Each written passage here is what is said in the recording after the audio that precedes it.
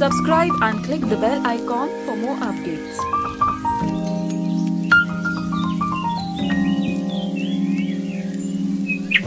you